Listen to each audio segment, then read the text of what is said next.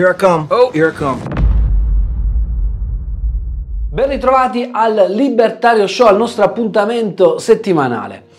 Questa settimana, ragazzi, sono senza parole, direi proprio così, senza parole. Le rivelazioni, non so se qualcuno di voi le avrà sentite, ascoltate, lette di Elon Musk, sono scioccanti. Sono scioccanti perché, sì, effettivamente ce lo immaginavamo, no? Ma avere la conferma da parte del proprietario di una delle piattaforme dei social più utilizzati al mondo è un'altra cosa da immaginarselo, perché arrivano le conferme. Siamo circondati da una massa di truffatori seriali democratici, dei manipolatori, manipolano tutto, non manipola solamente l'informazione e il denaro, no, l'obiettivo loro è veramente quello di manipolare le menti, i pensieri delle persone, influenzarle. Il sistema è pronto a tutto, pur di nascondere la verità oggettiva. Ovviamente il tutto al servizio di una narrativa più, diciamo così, ampia e pilotata. Ne parleremo questa sera qui al Libertario Show, parleremo dei truffatori seriali democratici, ma parleremo anche di altro.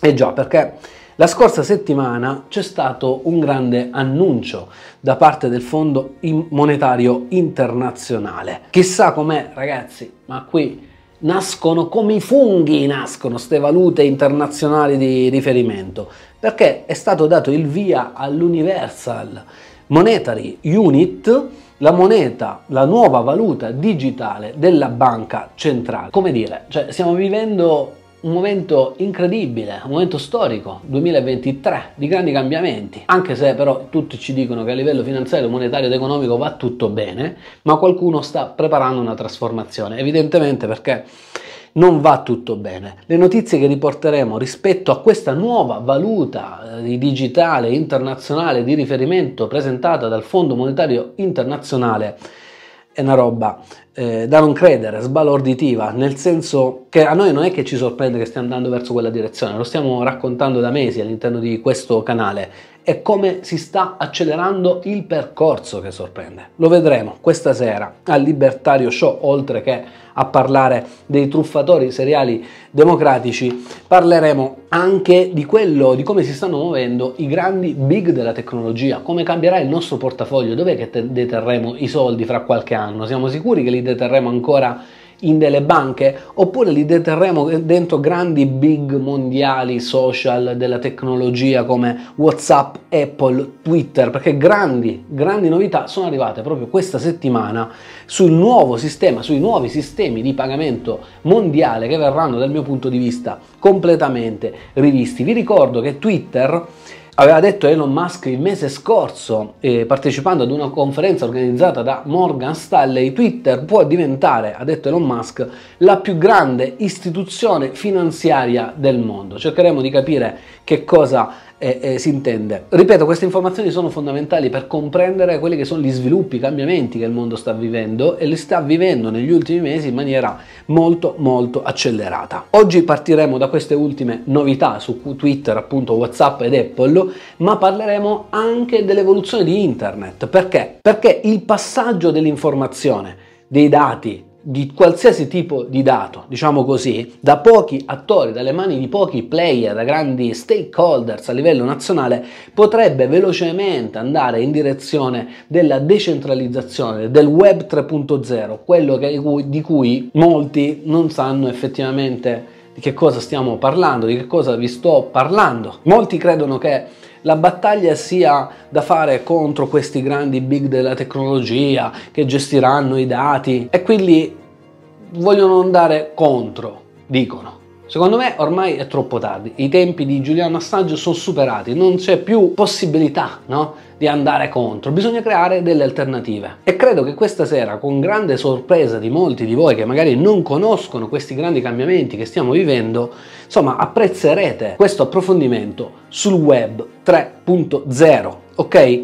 Ovviamente parleremo, ve l'ho già detto, dei truffatori seriali democratici perché questo è il punto focale della puntata di questa questa sera. Poi a proposito dei truffatori, sempre per rimanere in tema di truffe, parleremo dell'evoluzione del Green Pass, perché forse qualcuno di voi si è dimenticato che c'è un'evoluzione del Green Pass. Grazie, lo faremo grazie alle parole, alle ultime parole riportate dal portavoce commissario della eh, commissario della salute della Commissione europea rispetto a quello che è il progetto con dei mh, programmi pilota che stanno, stanno per partire proprio nei prossimi mesi. Poi parleremo di economia e soprattutto parleremo di Italia, ragazzi perché le prossime scadenze sono molto importanti, soprattutto sul nostro debito pubblico, soprattutto quando si inizierà a ballare no? sul nostro debito pubblico. E abbiamo oggi dati belli freschi, freschi e, ne parliamo, ne parliamo in questa puntata del Libertario Show, riportando anche quelle che sono le affermazioni degli ultimi incontri del Giro delle Sette Chiese che si è fatto Giorgetti, ministro dell'economia, noi abbiamo un ministro dell'economia Giorgetti, ormai dopo Di Maio può succedere di tutto, si è fatto il Giro delle Sette Chiese, è andato alla riunione, il meeting del Fondo Monetario Internazionale, G7, G20 e compagnia cantante, ma lo faremo anche rispetto all'ipotesi di iniziare a ballare sul suolo italiano rispetto al nostro debito pubblico con un approfondimento sul ballare di Fabio Frabetti che ci approfondisce l'ultima intervista rilasciata alla CNN da parte di Jeremy Grantham. Scoprirete chi è e cosa dice qui a Libertario Show.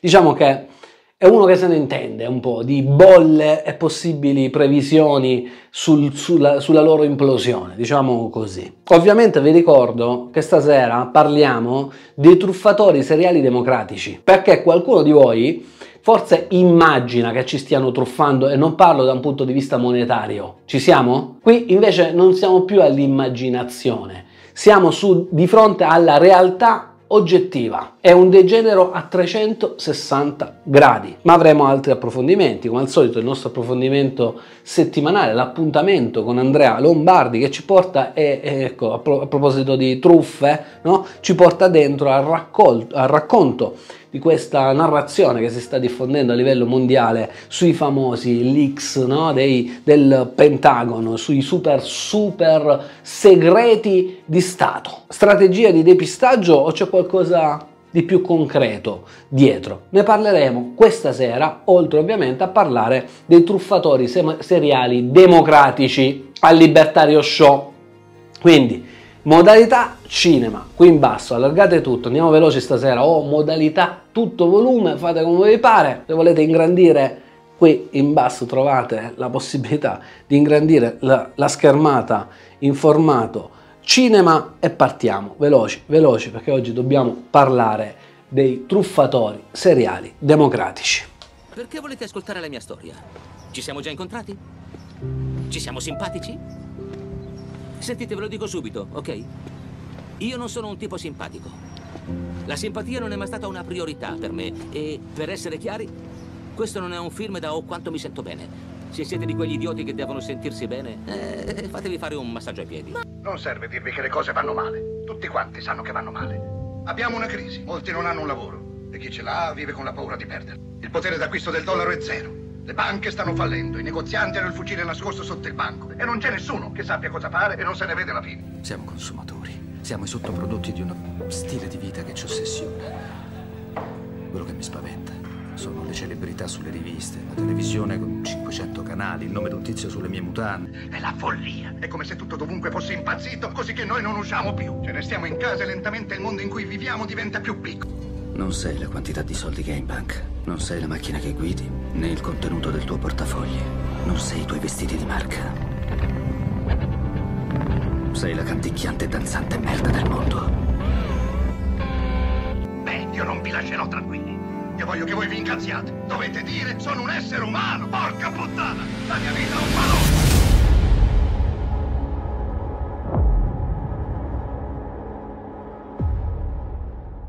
Ben ritrovati a Libertario Show. Partiamo dall'Italia, partiamo da casa nostra, prima di arrivare ai truffatori seriali democratici. Perché? Perché il Fondo Monetario Internazionale, e non è solo il Fondo Monetario Internazionale, come vi avevo anticipato settimana scorsa, dice che l'Italia si deve dare una sbrigata, si deve dare una mossa a ratificare il MES. E poi vi va dietro pure la Germania che si incazza e dice perché? Com'è che non l'avete ancora ratificato? Se voi non ratificate, noi non possiamo utilizzarlo perché manca appunto la ratifica dell'ultimo paese dell'Unione Europea, che saremmo noi, la Meloni e compagnia cantante, e quindi i tedeschi si sono offesi. Poi abbiamo Giorgetti, che vi ricordo ancora una volta che è il ministro dell'economia, credibile ma vero, cioè, però insomma dopo Gigino Di Maio, Giorgetti secondo me va benissimo, che dagli Stati Uniti ci dice che bisogna avere un approccio prudente sui conti pubblici. L'unica frase che viene riportata da tutti gli incontri che si è fatto Giorgetti in giro per il mondo, in giro per le sette chiese, tra G7, G20, Fondo Monetario Internazionale è questa, cioè sta portando serenità. Ha detto a tutti che l'Italia è resiliente, anche perché abbiamo il PNRPQZ, non lo sappiamo spendere, ma noi siamo resilienti e che avremo un approccio prudente sui conti pubblici. Perché ha detto queste parole? Perché deve tranquillizzare, perché tutti sono consapevoli della bufera pesante che ci aspetta. E quindi iniziamo a spolverare un po' di dati su quelle che sono le scadenze del debito pubblico, della nostra situazione, dello spread, dei titoli di queste robe qui nei prossimi mesi. Prima però vi devo ricordare che la botta reale, la botta concreta sull'economia reale, sulle famiglie, sulle imprese a seguito del rinnalzamento dei tassi di interesse da parte della Banca Centrale Europea e soprattutto si sta restringendo, adesso vedremo come, il bilancio della Banca Centrale Europea, cioè viene di fatto ritirato denaro okay, dalla circolazione, ci ricordano da Milano Finanza che le ricadute di norma si fanno sentire sulle famiglie e sulle aziende dopo 18-24 mesi. In sostanza si stanno aprendo adesso i balletti. Adesso molte famiglie che hanno mutuo a tasso variabile fondi, società, imprese, se ne stanno rendendo conto, soprattutto quando entrano in banca e notano una certa restrizione, cioè le banche stanno con le manine così, nel concedere credito, perché dopo tutto quello che è successo e dopo tutto quello che sanno che arriverà nei mercati reali e nell'economia e, e nella finanza, le banche ovviamente stanno restringendo, non concedono finanziamenti come in passato. Ma perché questo sta accadendo? Cioè, sta accadendo per l'innalzamento dei tassi di interesse, sta accadendo per le cose che ci siamo detti più volte all'interno di questo canale. Ma devi sapere, inoltre, che le banche europee dovranno restituire in un colpo solo alla BCE, si legge su Milano Finanza, 477 miliardi di prestito. Il bilancio della Banca Centrale Europea si ridurrà, si legge, di pari importo. Sto leggendo su Milano Finanza e le conseguenze, aprite bene le orecchie, si potranno far sentire anche per i titoli di Stato. Iniziano a parlarne anche su Milano Finanza. Ecco perché Giorgetti, come vi dicevo poc'anzi, ha avuto un approccio prudente sui conti pubblici, ha rappresentato questo nel giro delle sette chiese che si è fatto in giro per il mondo, ok? Tra novembre e marzo ci sono stati ehm, rimborsi da parte delle banche nei confronti della BCE pari a 980 miliardi. A giugno le banche dovranno restituire la metà dei 1100 miliardi di prestiti fatti dalla BCE. Gli istituti italiani, le banche italiane dovranno trovare i soldi per restituire una bella botta pari a 318 miliardi. Vi ho fatto una panoramica di numeri. Questo per rappresentarvi che cosa? Due elementi che sono fondamentali. A seguito delle nuove decisioni da parte delle banche centrali, le ricadute arriveranno ad accorgersene realmente le persone fisiche, le famiglie, le imprese dopo 18-24 mesi che sono già passati perché l'inizio dell'inasprimento di queste nuove politiche è già iniziato da un bel po' e quindi stiamo arrivando ai 18, non ci siamo già arrivati, stiamo arrivando ai 18-24 mesi. Il peggio deve ancora arrivare. Tutto questo all'interno di uno scenario geopolitico internazionale incredibile perché la Cina, vi ricordo che si sta preparando a vietare l'esportazione di qualsiasi tipo di materie eh, prime intese come terre rare che possono essere utilizzate dalle aziende occidentali, soprattutto statunitensi, per lo sviluppo di tecnologia, ma allo stesso tempo è di questi giorni la notizia da parte degli Stati Uniti d'America che sono pronti a vietare esportazione di prodotti tecnologici alla Cina. Siamo all'inizio di una guerra commerciale, di una guerra capi- di capitali che molto probabilmente avrà un'accelerata proprio in questi mesi, data l'apertura di Macron alla Cina e data soprattutto il ritorno di questa apertura, eh, roba di queste ore, che eh, la Cina fa all'Europa per aprire i negoziati della guerra in Ucraina con la Russia. In sostanza vi sto dicendo che stanno ignorando gli Stati Uniti d'America, che oltretutto hanno avvertito tutti i paesi, o meglio, sono usciti fuori proprio con una nota dei membri del G7 dicendo che chiunque ha relazioni o affari o arriva dalla Cina, si mette in contatto, scusate, con la Russia, bloccherà qualsiasi tipo di relazione con i paesi del G7. Cioè ce li facciamo nemici. Se una nazione, per nome e per conto della Russia, porta a compimento un accordo commerciale o eh, Fuori, fuori anche quella nazione lì. Siamo vicini al punto di non ritorno, signori. Questo è quello che sta accadendo. Da settembre finanziamenti alle aziende sono calati per una cifra pari a 29 miliardi. Le banche non prestano più soldi perché sanno benissimo che i tassi di interesse sono aumentati e quindi le rate che tu dovevi sostenere se era 440 euro magari ce la potevi fare col tuo stipendio, io i soldi te li prestavo, il ragionamento che fa la banca, ma se devi pagarne 7,50 e lo stipendio è sempre lo stesso, io non te li presto perché è probabile che tu non riuscirai a pagarmi questi finanziamenti. Nel terzo trimestre del 2022 il numero di convenzioni notarili, di atti stipulati dai notai per mutui o finanziamenti con ipoteca sono scesi del 7,4% su base annua e del 5,5% rispetto al trimestre precedente. La discesa ragazzi è repentina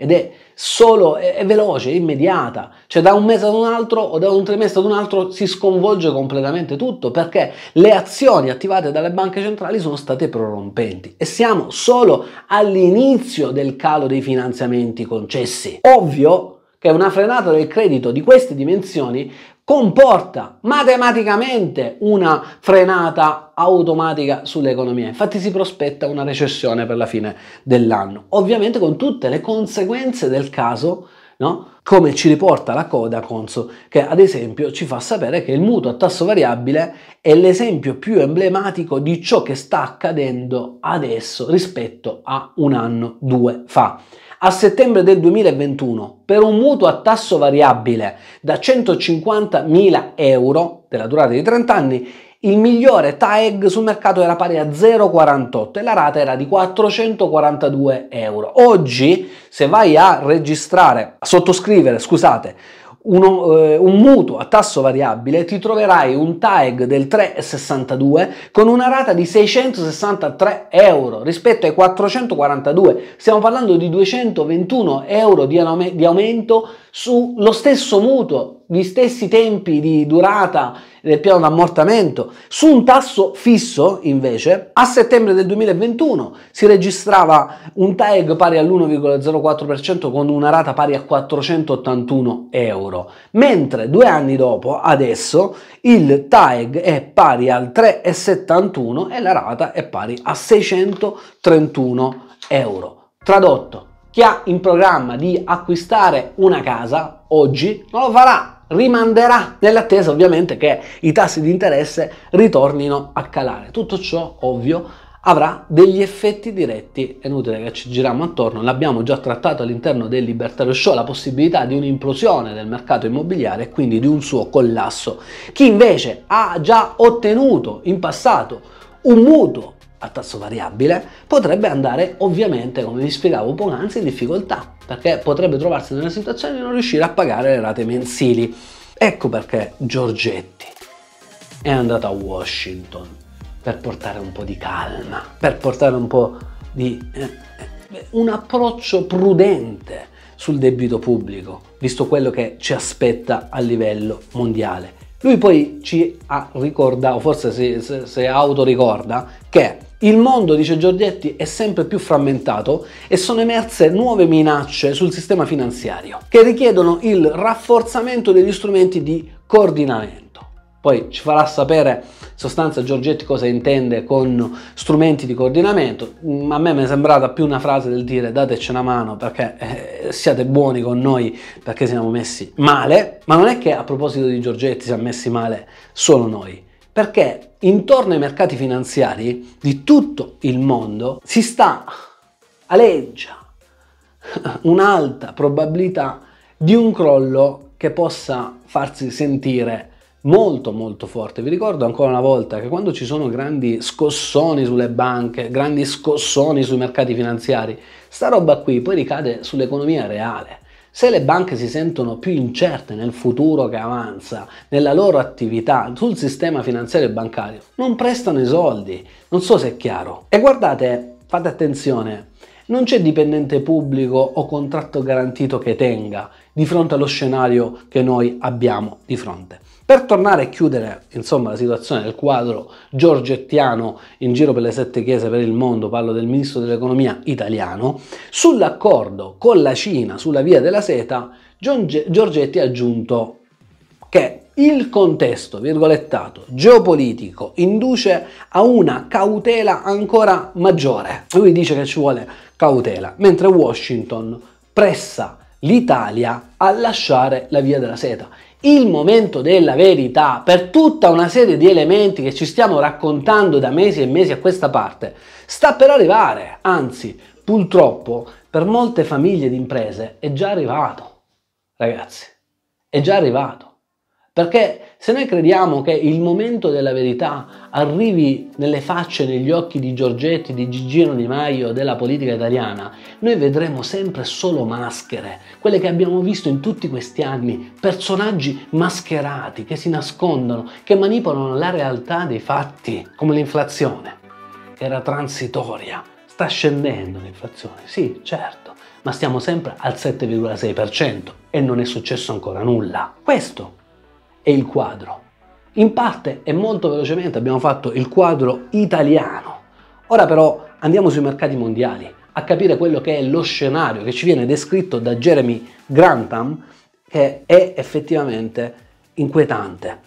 E poi ascoltiamo all'interno di questo servizio anche altri scenari più ottimistici analizzati da alcune banche sistemiche americane. Ci fa il punto della situazione in questo servizio Fabio Frabetti. Quando parla Jeremy Grantham sono dolori. Nel 2000 aveva previsto la bolla speculativa legata alla scoperta delle nuove tecnologie informatiche, la cosiddetta crisi del dot.com. Nel 2008 si è ripetuto anticipando l'arrivo della nota crisi, probabilmente mai terminata. Scrisse un articolo per Fortune pubblicato nel settembre 2007 in cui faceva riferimento a tre quasi certezze. I margini di profitto sarebbero diminuiti, il mercato immobiliare sarebbe crollato e il rischio in tutto il mondo si sarebbe ampliato, ciascuna delle tre con gravi conseguenze. Ora, quello che è un famoso investitore avverte dell'arrivo di un'altra macroscopica bolla nei mercati finanziari, una bolla che sta per scoppiare. Insomma, le turbulenze finanziarie che abbiamo vissuto recentemente non sono che l'inizio di una vera e propria tempesta in arrivo. Molto altro andrà in frantumi e chissà cosa sarà, ha detto Grantham alla CNN in un'intervista esclusiva. Lo stress per il sistema finanziario non è affatto finito. Certo, bisogna considerare che il cofondatore della società di investimento GMO non è uno che generalmente fa sprizzare d'entusiasmo considerate le sue note analisi ribassiste. Grantham parla di una frenesia in vari mercati statunitensi stimolata dai tassi di interesse ai minimi dopo la pandemia di Covid, delineando l'inizio nel 2021 di una delle più grandi bolle della storia finanziaria. Dall'inizio del 2022, quando l'SP 500 ha raggiunto il massimo storico, le azioni statunitensi sono scese di circa il 15%, poiché le banche centrali hanno aumentato i costi di indebitamento. Ma Grantham vede crolli molto più ripidi all'orizzonte. Il meglio che possiamo sperare, ha detto, è un calo di circa il 27% rispetto ai livelli attuali, mentre lo scenario peggiore vedrebbe un crollo di oltre il 50%. Il punto più basso potrebbe non arrivare prima del 2024 inoltrato. Gli analisti di Bank of America e Goldman Sachs hanno invece delle previsioni molto più ottimistiche rispetto a questo indice che variano dal 2 al 5% in meno. Le azioni però non sono le uniche attività che hanno registrato valutazioni eccessive quando il denaro a basso costo ha incoraggiato gli investitori a correre grandi rischi. Anche i prezzi dei titoli di Stato, degli immobili e perfino delle criptovalute sono aumentati vertiginosamente. Secondo Grantham, questa diffusa esuberanza potrebbe portare a una resa dei conti particolarmente aspra. Il recente fallimento della Silicon Valley Bank, ad esempio, è stato innescato in parte dalle perdite sulle sue partecipazioni obbligazionarie quando i tassi di interesse sono aumentati e i prezzi del debito pubblico degli Stati Uniti sono diminuiti. Man mano che la bolla si sgonfia, è quasi certo che si arriverà, secondo l'analista, a una recessione. Le grandi esplosioni di euforia che si traducono in gigantesche bolle con mercati troppo cari è stata sempre seguita da una recessione, ha aggiunto. Le recessioni sono lievi se tutti fanno tutto bene e non ci sono complicazioni, sono terribili se le persone sbagliano tutto. E arriva quindi un consiglio agli investitori, preparatevi a grandi sorprese. Sarebbe stato difficile prevedere l'implosione della Silicon Valley Bank o la necessità per il governo svizzero di intervenire e quindi operare un salvataggio d'emergenza di Credit Suisse, ha aggiunto Grantham.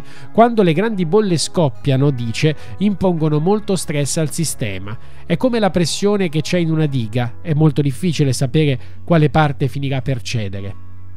La correzione nel mercato obbligazionario potrebbe essere quasi completa, prevede sempre Grantham, ma le valutazioni delle azioni rimangono molto al di sopra di qualsiasi relazione tradizionale a lungo termine.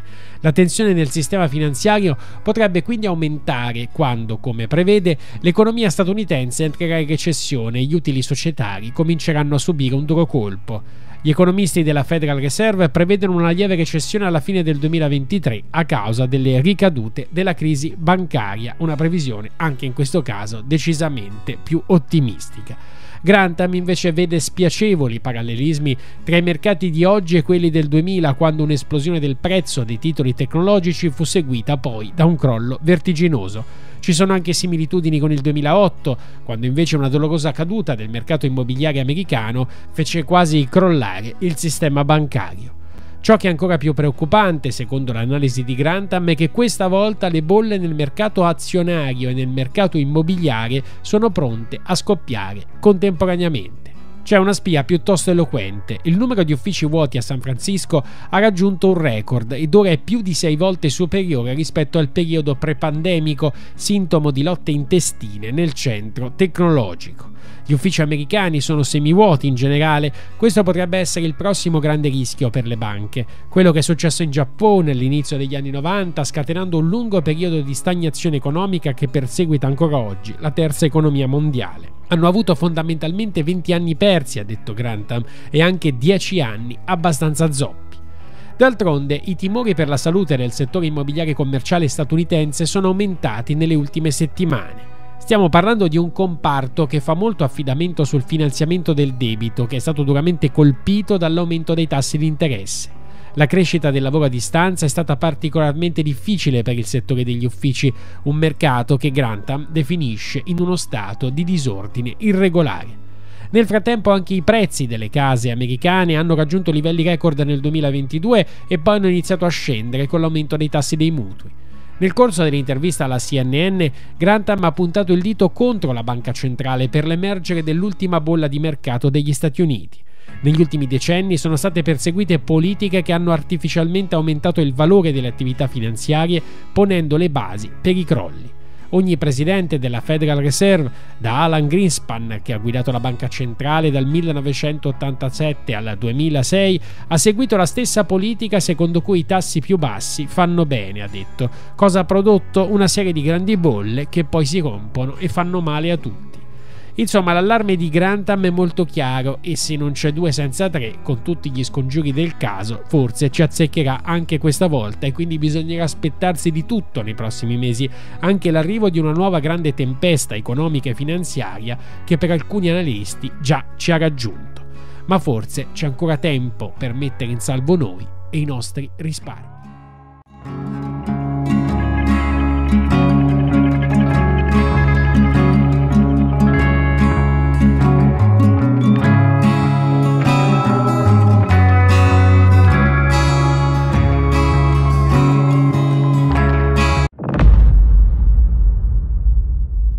Ma non bisogna avere paura, ragazzi. Non bisogna avere paura di quello che sta accadendo, anche perché, come ve l'ho già detto, vi ho già detto altre volte, loro creano il problema e loro trovano la soluzione. Ci pensano loro a trovarvi la soluzione. Poi forse magari dopo che ci hanno combinato la festa, dopo che hanno combinato, hanno acceso i fuochi d'artificio, fatti scoppiare, iniziato a ballare, eccetera, eccetera, si presenteranno con qualcosa che ci tranquillizzi, che ci rassereni. Magari una soluzione potrebbero essere proprio le valute digitali programmabili che sono a piacimento, potrebbero essere distribuite a piacimento dei truffatori seriali democratici, ma non è questa la notizia eh, che ti voglio portare rispetto a questi soggetti che ci manipolano non solo il denaro, non solo l'informazione. La notizia che ti voglio riportare sui truffatori democratici seriali, adesso ne parliamo, devi aspettare un attimino. Ora, vi devo parlare della nuova valuta internazionale, internazionale di riferimento di quest'altra parte del mondo, no? perché abbiamo raccontato anche alla scorsa puntata del Libertario Show ciò e quelli che sono gli sviluppi del nuovo ordine mondiale multipolare che riguarda i BRICS e compagnia cantante. Ora dobbiamo parlare dell'Universal Monetary Unit e non si capisce sinceramente il motivo, almeno io non riesco a capirlo, il motivo per cui nessuno ne sta parlando. Comunque, cosa sta succedendo? Sta succedendo che nell'ultima riunione del 2023, quella che si è tenuta la settimana scorsa del Fondo Monetario Internazionale e l'autorità monetaria per la valuta digitale hanno annunciato il lancio ufficiale di una valuta digitale della Banca Centrale Internazionale una CBDC programmabile, di quelle ne abbiamo già parlato. Tobias Andrian, apri bene le orecchie, consigliere finanziario del Fondo Monetario Internazionale, ha affermato immagina se esistesse una piattaforma multilaterale in grado di migliorare i pagamenti transfrontalieri trasformando allo stesso tempo le transazioni in valuta estera.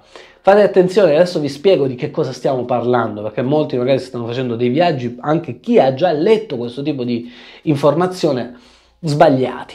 Ok, innanzitutto si chiama, abbiamo detto, Universal Monetary Unit, unità monetaria universale, ed è una valuta digitale della Banca Centrale Internazionale che si legge è stata progettata per funzionare insieme a tutte le altre valute nazionali.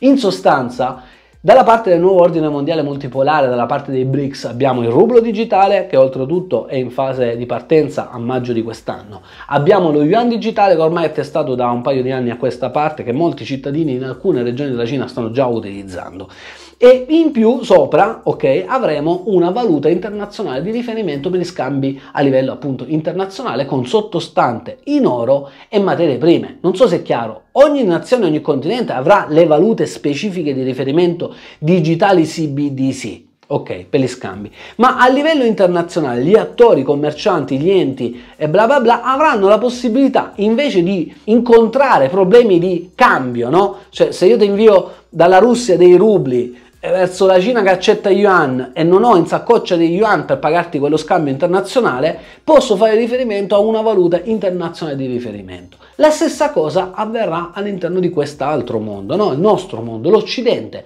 Abbiamo l'euro digitale in fase di programmazione, il dollaro digitale, la stellina digitale, tutto quello che volete. Sopra, sopra, quindi sopra le banche centrali dei continenti, abbiamo il Fondo Monetario Internazionale insieme alla Banca dei Regolamenti Internazionale, che insieme stanno sperimentando quello che sarà il flusso di queste valute. Il passaggio, lo scambio, anche qui a livello superiore, quindi non per scambi interni all'Europa con l'euro digitale per intenderci, ma a livelli superiori per scambi appunto internazionali si avrà la possibilità di utilizzare questa robina qui. Secondo Darrell Hubbard, direttore esecutivo dell'autorità monetaria per la valuta digitale, capo architetto dell'infrastruttura dell'UM, questa Universal Monetary Unit, non sta, dice, eh, sconvolgendo il sistema monetario internazionale. Anzi, questo nuovo sistema lo rafforza aiutando il Fondo Monetario Internazionale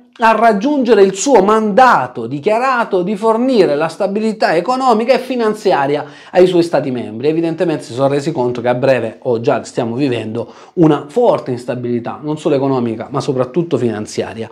L'UMU, questo nuovo sistema, questo nuovo unità monetaria universale, fate attenzione, è un punto di svolta nel mondo dei pagamenti, in quanto vengono effettuati al di là delle frontiere, cioè dei singoli interessi dei continenti, fuori dai continenti, viene utilizzata fuori, ok?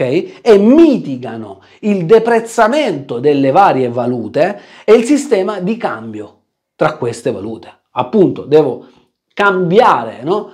Dollari per euro, euro per dollaro ho come riferimento una valuta unica mondiale, un'unità monetaria universale che è semplicemente il primo passo di una valuta digitale programmabile che poi ci porterà a una valuta dal mio punto di vista, ma ancora ancora molto in là da venire. Questo è un progetto che si realizzerà evidentemente entro pochi anni, al massimo 2030. Qui stiamo parlando di un paio d'anni molto probabilmente ed entreranno in azioni e questa potrebbe alla lunga diventare la valuta universale di riferimento, attenzione lo ripeto ancora una volta, per gli scambi internazionali, che non dobbiamo confonderla con la, come la valuta, lo yuan digitale, l'euro digitale, il dollaro digitale o il rublo digitale. Ci siamo? Spero di sì. Infatti ci sottolineano che aziende, partner, istituzioni, enti potranno accettare UMU per il valore di mercato equivalente per i loro beni e servizi quotati in qualsiasi corso legale nazionale, cioè varrà ovunque avrà tassi di cambio incorporati all'interno del portafoglio e potrà convertire qualsiasi importo in valuta di regolamento nell'importo IMU, quindi ho euro digitale, li converto in IMU, no, IMU no, no, l'IMU no, UMU, l'IMU è una brutta, vabbè, siamo lì, siamo lì.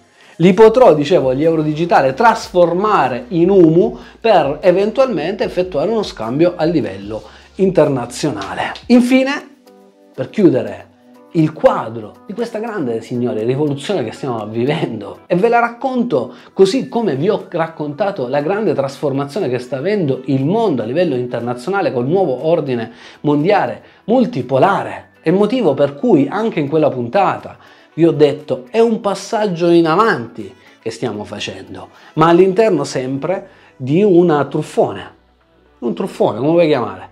La truffa dei truffatori seriali democratici. Dicevo, per concludere il quadro completo della situazione, il 10 aprile il mm, Fondo Monetario Internazionale ha pubblicato un nuovo rapporto sul digital currency eh, delle banche centrali, dove ha delineato la strategia pluriennale del Fondo Monetario Internazionale per aiutare le banche centrali dei vari continenti ad introdurre le CBDC. Il mondo, signori, sta cambiando totalmente. Sta cambiando non solo in relazione al, ai flussi di denari, di valute che avverranno in futuro su nuove infrastrutture che stiamo analizzando e anticipando all'interno di questo canale a livello mondiale ed internazionale di grandi attori, ma sta cambiando anche nei sistemi di pagamento di internet e questo lo vedrai a breve.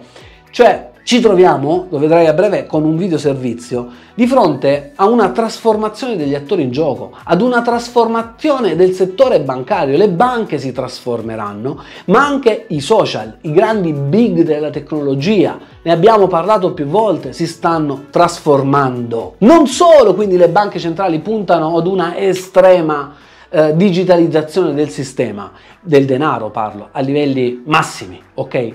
Ma anche gli attori, i grandi big, gli stakeholders, laddove, laddove gireranno queste valute digitali, laddove gireranno, come sapete, nei vari social, non solo le valute digitali, quanto spendete, qual è il saldo, la giacenza del vostro conto corrente o portafoglio che avrete su uno di questi grandi player internazionali, varie piattaforme come possono essere WhatsApp, Apple, Twitter e compagnia cantante. No, tutto ciò sarà intrecciato con i vostri gusti, consumi, quello che fate, dove cagate, dove pisciate, come mangiate, eccetera, eccetera, lo sapete. Però in tutto questo dobbiamo aggiungere anche un'altra trasformazione che sta avvenendo nella rete. Una trasformazione che punta all'incensurabilità, punta alla trasparenza, punta a rendere il web un posto più sicuro, perché questa trasformazione sul, eh, via internet non colpirà solo i grandi big della tecnologia. Man mano che questo potere verrà sempre di più centralizzato in mano a grandi stakeholders, in mano a grandi enti, governi che diventeranno piattaforme più che veri e propri governi, piattaforme di controllo dei dati dei propri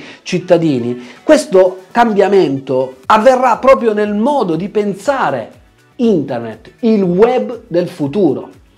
Ci racconta tutto in questo video servizio su quelle che sono le possibilità, le probabilità di questa trasformazione Federico Pacilli di CryptoBooks che ci porta qui al Libertario Show, il web 3.0, un possibile futuro tra web sicuro, incensurabile e decentralizzato. È possibile? Vediamo insieme. Il modo di utilizzare internet sta cambiando e nessuno si è ancora accorto della rivoluzione in corso. Oggi parleremo del Web 3, la nuova versione del World Wide Web che sta prendendo forma e che sta cambiando le interazioni nell'intero ecosistema online. Iniziamo col chiederci che cos'è il Web 3 e quali sono i suoi principali vantaggi. Il Web 3 è la risposta alla centralizzazione del Web 2.0, che ha dato il controllo ad alcune grandi aziende come Google, Facebook e Amazon. Grazie alla tecnologia blockchain e agli smart contract, il Web3 sta tentando di riportare in mano agli utenti il potere sui propri dati, creando un web decentralizzato, offrendo agli utenti un ambiente sicuro e incensurabile. Il Web3 è stato proposto dal cofondatore di Ethereum Gavin Wood come soluzione al problema della fiducia richiesta dal web attuale, basato su poche aziende private. Il Web 3 si basa su una rete decentralizzata e aperta, in cui gli utenti hanno il controllo sui propri dati e sono in grado di creare e utilizzare applicazioni senza dover dare fiducia a intermediari. La blockchain e la crittografia sono tecnologie centrali nel Web 3, che promette di essere più sicuro, trasparente e inclusivo del web precedente. Ma per capire meglio cosa sia il Web 3, dobbiamo fare un passo indietro e parlare della storia del web. Il Web 1.0, creato alla fine degli anni 80, creato da Tim Berners-Lee, era caratterizzato dai siti web statici di proprietà di aziende o istituzioni e con poca interazione tra gli utenti. L'interazione degli utenti era quasi nulla e si parlava appunto di web in sola lettura. Infatti gli utenti si collegavano ai vari siti per leggere i dati offerti. Il web 2.0, nato nel 2004 più o meno, con l'emergere delle piattaforme di social media, ha introdotto il paradigma lettura-scrittura al posto della sola lettura del web 1.0. Le piattaforme UGC, User Generated Content, hanno permesso agli utenti di generare contenuti, ma hanno anche dato il controllo di questi dati a poche grandi aziende. Il Web 2.0 così ha introdotto il modello di advertising basato sui profili e caratteristiche degli utenti stessi, una sorta di pubblicità mirata e di algoritmi che ci suggeriscono cosa guardare e cosa fare. Questo sta creando non pochi problemi su temi come la possibilità di essere influenzati e addirittura manipolati da queste piattaforme. Il Web3 invece vuole rompere questo modello creando un sistema che permetta agli utenti di mostrare al mondo in maniera selettiva i propri dati o parte di questi. Grazie alla tecnologia blockchain e agli smart contract, il Web3 consente agli utenti di interagire tra di loro senza l'intermediazione di un'autorità centrale e senza che nessuno possa utilizzare solo per i propri interessi questi dati. Ma che cosa sono gli smart contract? Gli smart contract sono programmi informatici che girano principalmente sulla blockchain di Ethereum, ma non solo. Si eseguono quando innescati da una transazione effettuata da un utente oppure da un altro contratto. Questa modalità di interagire in maniera decentralizzata rende addirittura Ethereum, che è una delle blockchain appunto, molto flessibile e la distingue da altre criptovalute. Gli smart contract sono la base di quelle che oggi definiamo app decentralizzate o DApp. E qui arriva il protagonista indiscusso del Web3, appunto Ethereum. Ethereum è una piattaforma per il cosiddetto computing distribuito, con la Ethereum Virtual Machine come componente principale. Ethereum è usato per creare app decentralizzate, gestire organizzazioni, detenere risorse, effettuare transazioni e comunicare senza essere controllati e senza l'intermediazione di un'autorità centrale. La grande differenza tra Ethereum e Bitcoin è che Ethereum è programmabile, consente di creare e distribuire applicazioni sulla rete blockchain. Ethereum è più come una piattaforma che offre un mercato di servizi legati al mondo, non so, della finanza, dei giochi, dei social e di tutte quelle app che rispettano la privacy degli utenti all'interno di un ecosistema incensurabile. Come ha spiegato Vitalik Buterin, il fondatore di Ethereum, la grande differenza fra Ethereum e Bitcoin è che Bitcoin è una piattaforma in cui il valore dell'ecosistema deriva dal valore della valuta, mentre in Ethereum il valore della valuta deriva dal valore dell'intero ecosistema. Usando sempre le parole di Buterin, pensa alla differenza che c'è tra una calcolatrice e uno smartphone. La calcolatrice fa una cosa e la fa bene, mentre su uno smartphone hai una calcolatrice come app, ma puoi anche ascoltare musica, navigare sul web e fare molte altre cose con altre app. Seppur, a mio modo di vedere, paragonare Bitcoin solo ad una calcolatrice è irrispettoso, poiché si tratta del primo ecosistema al mondo che genera denaro digitale decentralizzato in contrapposizione alle valute fiat, la metafora può rendere l'idea della differenza tra le due blockchain. Ecco perché, se dovessimo in qualche modo riassumere le due partite che stanno giocando Bitcoin ed Ethereum, si potrebbe dire che la prima si sta posizionando come riserva di valore e denaro digitale in contrapposizione al sistema delle valute fiat inflazionate. Il secondo invece si sta creando uno spazio per diventare un abilitatore del Web 3, ovvero un nuovo modo di utilizzare la rete in maniera decentralizzata dove gli utenti torneranno in possesso dei propri dati. Sembra uno scenario lontano, ma in realtà non è così. Infatti dovete considerare che quando usate un protocollo DeFi, come ad esempio Uniswap, state interagendo con il vostro wallet in maniera anonima, scambiando su una pool di liquidità creata da altre persone o organizzazioni che non conoscete, su una rete decentralizzata gestita da miner che non conoscete e su un software scritto sicuramente da un gruppo di persone che possono essere identificate, ma su cui riporre fiducia non tanto perché persone note, quanto perché il software è pubblico e leggibile da chiunque. Insomma, il Web 3 è già intorno a noi, soltanto che in pochissimi se ne sono accorti. Queste sono le alternative che si stanno venendo a creare. Vedremo quelli che saranno gli sviluppi.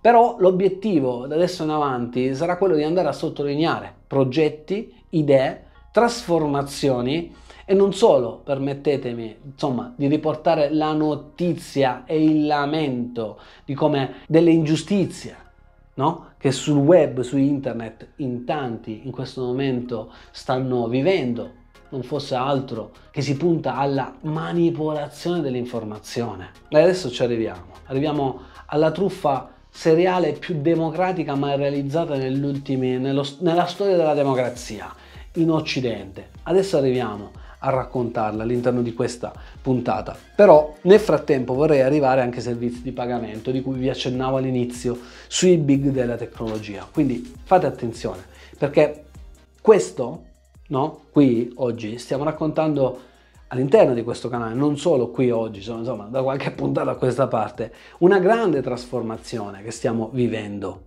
e questa grande trasformazione non riguarda solo il web 3.0, possibilmente incensurabile, sicuro e decentralizzato, non riguarda solo il nuovo mondo multipolare con le loro valute digitali di Stato, in più la loro valuta di riferimento a livello internazionale e non vale solo per l'Universal Monetary Unit.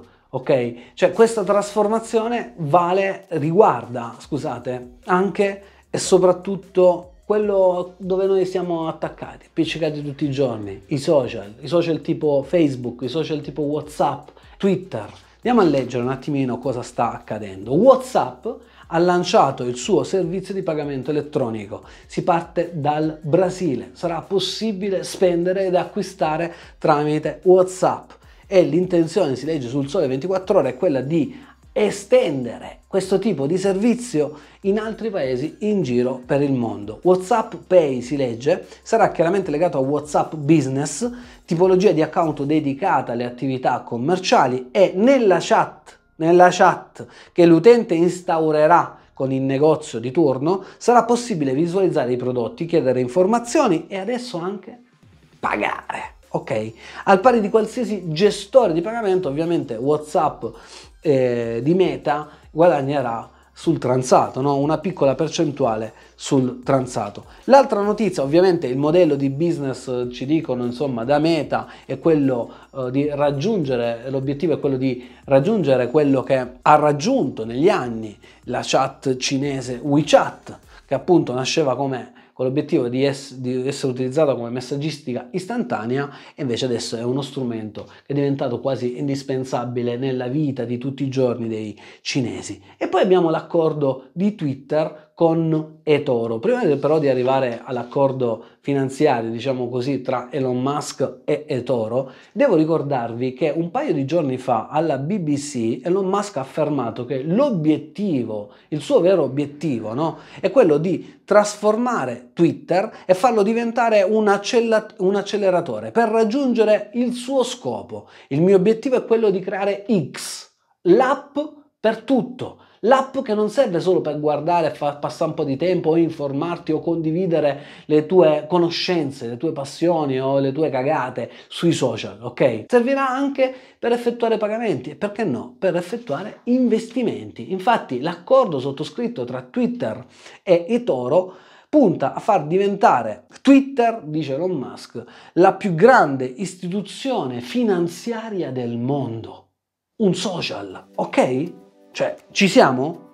Ed è questo a cui puntano questi grandi colossi, anche perché adesso non vorrei allungartela più di tanto, insomma, rispetto a Twitter, ma voglio darti subito la notizia di Apple, riportarti questa notizia. Apple entra nel mondo bancario dal portone principale, si legge sul Sole 24 Ore, con la creazione in collaborazione con Goldman Sachs di un conto deposito di alta resa che paga un rendimento annuo del 4,15%.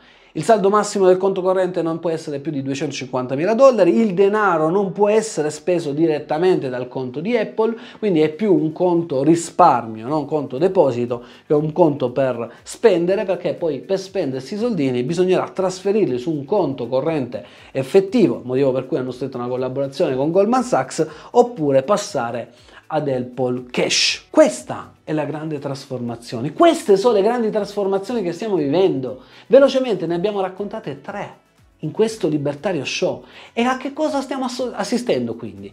Mentre assistiamo a un deflusso di capitali, alla gente che scappa, ok, scappa letteralmente dalle banche tradizionali, considerate che la, la State Street e, e, altri gruppi finanziari statunitensi hanno perso, hanno visto, scusate, un deflusso di depositi pari a 60 miliardi di dollari nel primo trimestre riportato, dal, eh, riportato da Financial Times. Cioè, mentre dalle banche tradizionali la gente scappa, si sposta i soldi su servizi più tradizionali, più classici, però con forti brand, dove si recupera quella fiducia, quella credibilità che questi ovviamente si sono giocati. Ovvio che poi tutto nelle nostre mani, no? Perché molto spesso sento ragionare rispetto alla, ai pericoli, oltre che alle opportunità, queste ci sono sempre ben rappresentate, delle valute digitali, dell'identità digitale, che tutto ciò ci semplifica la vita, che tutto ciò sarà facile da utilizzare, eh, semplifica tanti processi, sì, e su questo potremmo essere anche d'accordo. Il problema è la centralizzazione del potere. Abbiamo visto negli ultimi due anni quello che sono capaci di fare questi signori. Stasera parleremo in questa puntata dei truffatori seriali democratici, appunto, di quello che sono capaci di combinare questi signori. Quello che sentirete stasera ha del pazzesco perché noi potevamo, potevamo scusate, sì, arrivarci, ipotizzarlo, ci chiamavano complottisti, ma qui, cioè, capite, altro che complottismo, cioè, questi veramente stanno facendo un complotto. Questi fanno i complotti dietro alle spalle della povera gente. Ma comunque, dicevo, bisognerà poi scegliere, spetterà a noi scegliere chi, cosa utilizzeremo come portafoglio per detenere i nostri, i nostri risparmi, i nostri valori, per effettuare acquisti. Come ci comporteremo? Perché no, tanti fenomeni adesso li vedo lì che combattono, rivoluzionano, sì, sì, vi voglio vedere vi voglio vedere a breve. In fin dei conti, ve lo ricordo ancora una volta, io e te ci stiamo guardando su YouTube, ci guardiamo su Facebook, ci guardiamo su LinkedIn, Twitter, Telegram, grandi player. E alcuni di questi tutto si sono dimostrati tranne che democratici, anzi fanno proprio parte del gruppetto, dell'elite dei truffatori seriali democratici. Uno tra questi sembra aver censurato questa settimana la Codacons.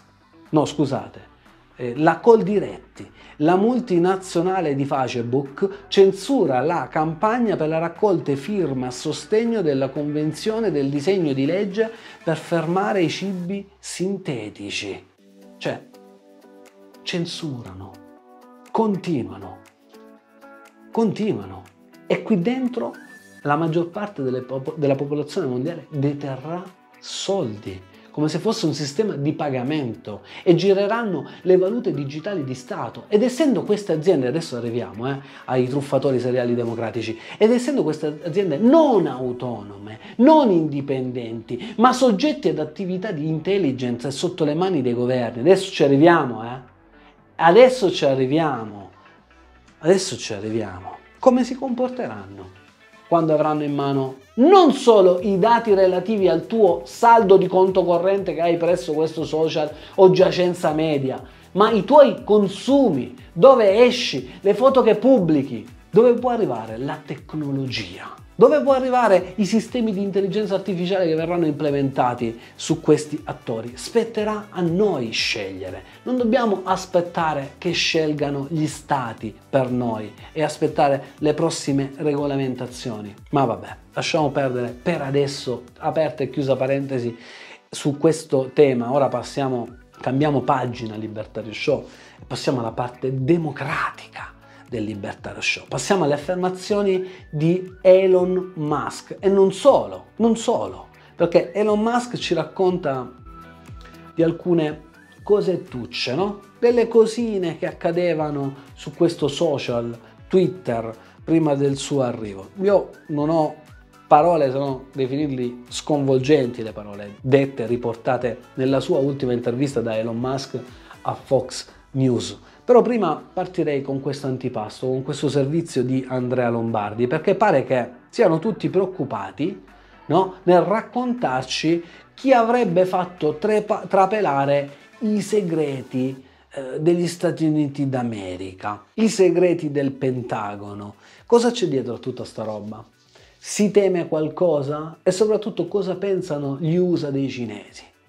Che cazzo ce ne frega noi che cosa pensano gli Stati Uniti d'America dei cinesi, dice qualcuno. Cosa c'è dietro a tutta sta roba qua? Ce lo racconta in questo servizio Andrea Lombardi, ma soprattutto ci mette di fronte a tutta una serie di ipotesi che vi invito ad ascoltare e su cui riflettere, perché qui più che chiedersi cosa c'è dietro, cosa temono, cosa pensano gli Stati Uniti eh, dei cinesi e che se ne frega di che cazzo pensano gli Stati Uniti dei cinesi, c'è soprattutto da chiedersi se questa non è una vera e propria operazione e strategia di depistaggio. Pentagon Leaks, la fuoriuscita di documenti super segreti e super riservati che fa infuriare il Pentagono e gli Stati Uniti. Questa storia è veramente interessante e anche abbastanza intrigante.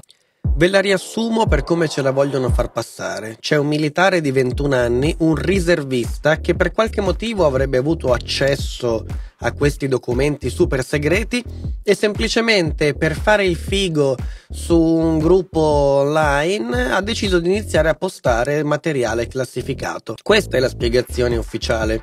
Questo ragazzo, semplicemente per fare il bulletto di quartiere in un quartiere digitale su Discord, una piattaforma che tanti conoscono, avrebbe spiattellato roba super segreta americana. E adesso ci sono tutte le testate del mondo che cercano di farci capire come questo caso non c'entri niente con quegli eroi di Wikileaks e Snowden. Loro agivano per ragioni politiche contro gli Stati Uniti, sì, ma quando gli Stati Uniti sbagliavano. Adesso, invece, il ventunenne è semplicemente un criminale, un delinquente comune. Tutta questa storia è veramente pazzesca, è qualcosa veramente al di là dell'immaginazione. Ed è anche piuttosto intricata, quindi io eviterò di cercare di darvi delle spiegazioni, cerco soltanto di mostrarvi i fatti per quelli che sono, perché qua riuscire a capire quali documenti sono veri, quali sono falsi, chi realmente li ha sottratti, se realmente li ha sottratti, se è stato fatto contro la volontà del Pentagono o forse assecondando la volontà del Pentagono o magari di qualche pezzo del Deep State piuttosto che di qualche nemico americano, beh fare tutti questi distinguo in questo momento è pressoché impossibile. Quindi io non ci provo neanche. Vi dico semplicemente che il quadro di quello che esce da questi documenti, veri o falsi che siano, è un quadro che noi conoscevamo già, ma lo conoscevamo a livello informale.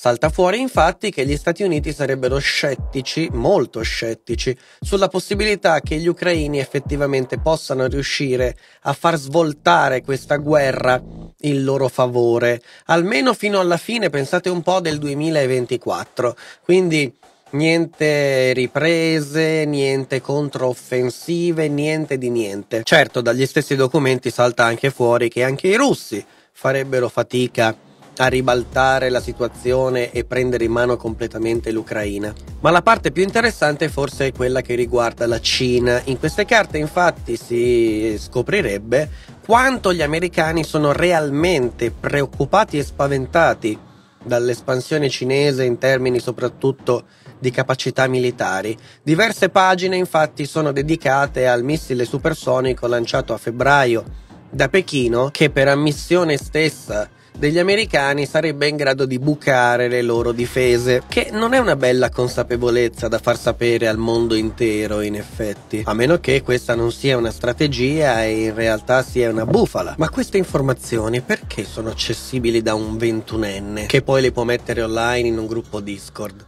Bah. Si scopre poi che non solo i cinesi sono in grado di sabotare le difese americane, ma anche i russi sarebbero in grado di sabotare le armi che gli americani inviano agli ucraini. Infatti dai leaks salta fuori che i russi sarebbero in grado di sabotare e disturbare i sistemi di puntamento delle armi americane inviate in Ucraina, facendo sì di rendere vano l'utilizzo della maggior parte di queste. In questo senso si parla anche degli HIMARS e si scopre che la più grande paura americana è che la Cina intervenga direttamente nel conflitto in Ucraina qualora dall'Ucraina qualche arma americana venisse utilizzata per colpire direttamente la Russia o il suo esercito in patria. Insomma, un bel quadretto, niente di nuovo se lo guardiamo dal nostro punto di vista, ma vederlo scritto su documenti firmati dal Pentagono, beh, è tutta un'altra questione. Ora la discussione però rimane aperta, attenzione, sono documenti veri? E se sì, Chi è che ne ha desiderato la fuoriuscita? Davvero un ragazzetto annoiato che faceva il bullo su un gruppo Discord? Ma veramente ci devo credere? Beh, se ci devo credere, allora devo anche pensare e capire che gli Stati Uniti d'America, il Pentagono è un colabrodo, non è in grado di tenersi dentro neanche le cose più importanti. Quindi facciamo così, io preferisco non crederci, mettiamola così, forse è meglio. E allora devo chiedermi cui prodest un pezzo del deep state che ha deciso di minare la strategia di Biden alla radice, infliggendo un colpo duro alla politica americana attuale? Oppure sono riusciti davvero a sottrarre documenti importanti americani, magari qualche spia russa ha pagato e oliato gli ingranaggi corretti? O forse è tutta fuffa, è tutto falso e quindi è una strategia di depistaggio pensata alla radice e architettata da Washington stessa? Non posso sapere io, ovviamente esattamente come stanno le cose, però qui si sta muovendo qualcosa e questo penso che siano in tanti a percepirlo. E visto dall'Europa questo è ancora più preoccupante, visto che alla fine a sostenere il regime di Kiev con il denaro contante sono più gli europei che gli americani. Infatti noi ci abbiamo messo quasi 20 miliardi a fronte di una decina di miliardi sotto forma di garanzia da parte americana, e mi riferisco qua non alle armi, ma al sostegno economico e finanziario al governo ucraino per riuscire a chiudere il bilancio senza dover scappare portandosi via anche la credenza. Sapendo questo e sapendo che la situazione militare non migliora e non ha la possibilità di migliorare neanche secondo il parere dei militari americani, beh non c'è da stare tanto tranquilli non lo chiamerei un investimento sicuro, ecco. Staremo a vedere nei prossimi giorni se usciranno altre informazioni su questi leaks. Io vi prometto di continuare a darvi informazioni da questo punto di vista perché secondo me questo è un punto che ci farà molto discutere e ci regalerà grandi soddisfazioni nelle prossime settimane. Grazie Francesco come sempre e alla prossima. Grazie mille ad Andrea Lombardi per questo approfondimento. Ora, cambiamo argomento. Non so se avete ascoltato negli ultimi giorni, in realtà ieri, la notizia di ieri, eh, questo nuovo rapporto di 300 pagine che è stato presentato al Senato degli Stati Uniti d'America. Di cosa parlo? Delle origini del, PD, del Covid, ok? Mi è venuto Piddino. Quello che uscirebbe fuori da, queste, da questo nuovo rapporto confermerebbe, ovviamente gli Stati Uniti confermano, la provenienza dei laboratori cinesi e della poca trasparenza di Pechino, eccetera, eccetera. Ora, io non voglio entrare nel merito della questione medica, cioè non voglio entrare a commentare quelli che sono i nuovi dati che stanno uscendo proprio in queste settimane sugli effetti di, queste, di tutto quello che abbiamo subito, che molti hanno subito negli ultimi due anni. Ma invece vorrei collegarmi all'evoluzione del Green Pass, cioè quello strumento che doveva proteggerci, era stato fatto solo per noi, per il nostro corpo, per tenere lontano eh, la sfiga. In realtà, vabbè, non, non aggiungo molto. E quindi ci arrivano delle conferme sull'evoluzione del Green Pass da parte dell'Unione Europea. Però aspettate un attimo, un passo per volta. Mm, vi faccio un punto della situazione cercando di non incasinarvi. Dobbiamo collegare sta roba a Elon Musk, all'aspetto democratico dei truffatori seriali, perché è stato intervistato su Fox News e ha detto, ci dice, che le agenzie di intelligence avevano pieno accesso al back-end di Twitter. The degree to which uh, various government agencies had effectively had full access to everything that was going on on Twitter uh, blew my mind. Ma c'è di più, con calma, perché durante questa intervista rilasciata alla Fox News con il giornalista sono, sono venuti fuori che i social sono gestiti da intelligence globali. Ora torniamo alla notizia di Musk. Tieni questa informazione qui e ritorniamo un attimo sul Green Pass. Seguimi che avrai poi il quadro completo alla fine. Green Pass, quindi. Dal sito di Euronews è stato intervistato, è stata estrapolata questa intervista eh, al portavoce del commissario della salute della Commissione europea, Stefan De Kiersmacher, che ci riporta le seguenti parole. Secondo De, De Kersmacher, i meriti conquistati sul campo del Green Pass, dal Green Pass sono il fatto, questi sono i meriti, che più di 2,2 miliardi di certificati siano stati emessi dai membri dell'Unione Europea e che il tesserino abbia fissato uno standard globale con 78 paesi e territori in 5 continenti collegati al sistema. E quindi questo signore giustifica l'impiego della tecnologia, ripeto, virgolettato, del certificato del Covid digitale, in quanto questa tecnologia, dice di nuovo virgolettato, è abbastanza flessibile da poter essere riutilizzata anche come parte dello spazio europeo dei dati sanitari. E presto, aggiunge, arriveranno i progetti pilota sulla carta delle vaccinazioni, ad esempio, dice. Quindi, riepiloghiamo un attimino. Lui dice che hanno nelle mani una banca dati e un, un'infrastruttura che può essere usata e interscambiabile e che connette 78 paesi, li interconnette no? Ci sarebbe ovviamente da chiedersi, ma va bene, a cosa può servire? È la prima domanda, no? Cioè, a cosa ci serve di fatto un'anagrafe continentale vaccinale? Beh, evidentemente ad affrontare eventuali nuovi vaccini, ad affrontare eventuali nuove pandemie. Ma con quali metodi? Visto i metodi che avete utilizzato con questi strumenti tra le mani. Perché?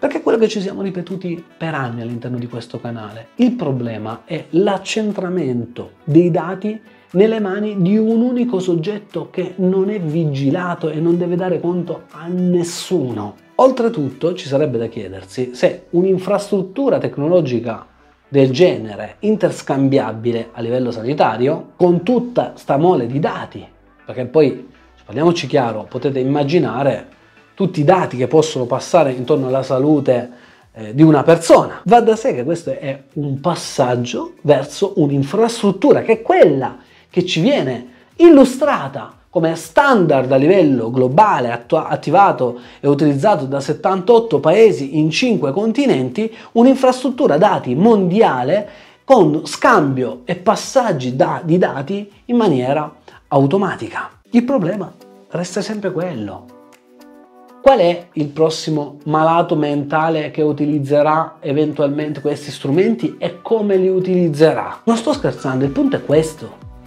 Il punto è se c'è qualche disturbato mentale che ci mette le mani e decide di fare un po' come cazzo gli pare. Il che ne abbiamo viste negli ultimi anni.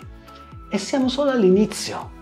Perché fai attenzione, questi, questi strumenti qua, questi signori, questo sistema e questa infrastruttura se la so inventata, se la so creata per poterla cavalcare. Domani ce l'avranno solo a disposizione, va semplicemente oliata e sistemata. Cioè, il passato non si cancella. Quando un'idea è in circolazione, questa idea continua a viaggiare, soprattutto se è un'idea malata nelle mani di qualche disturbato mentale. Chiaro? E con questa premessa e adesso mi ricollego al discorso e alle dichiarazioni inquietanti di Elon Musk, perché di fatto si sta, secondo me, ragazzi, vivendo una trasformazione del modo in cui noi stessi immaginiamo gli stati. Noi potremmo immaginarceli in futuro come una vera e propria piattaforma che poi è collegata a centri di controllo geolocalizzati a livello superiore. Ecco, lo Stato lo vedi come una piattaforma e noi saremo i figuranti, ovviamente ben schedati e con un bel codice a barre ben visibile. Parte le ipotesi che in questo momento sono inverosimili, ma che in futuro potrebbero non esserlo, arriviamo alle parole di Elon Musk, perché Musk nell'ultimo show presentato appunto a Fox News ha detto testuali parole, aprite bene le orecchie. Il grado in cui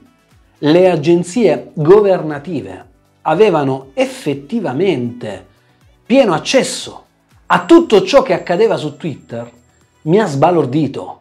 Non ne ero a conoscenza. Cioè, non so se riuscite a capire, l'unico obiettivo che avevano a livello governativo era quello di tenere sotto controllo i non allineati, sotto controllo tutti gli account. E fai attenzione, perché Elon Musk rivela, entra più nel dettaglio e non si limita a dire in generale le agenzie governative, no, no, dice il governo degli Stati Uniti d'America aveva pieno accesso agli account privati delle persone. Perché? Perché? Dovremmo chiederci perché.